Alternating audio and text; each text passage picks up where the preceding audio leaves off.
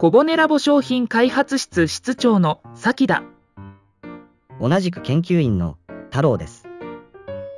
今日は人魚のしらすを紹介しよう。太郎くん、これはどんな味わいの素材だった？人魚のしらすは、糖に上品な旨味と甘みのある一品です。オリーブオイルでさっと煮てアヒージョにして、旨味をさらに引き出しました。これと軽く炙ったバゲットがあれば、いくらでもワインが飲めるだろう。生まれる前のプリプリの命を、たっぷり乗せてお楽しみください。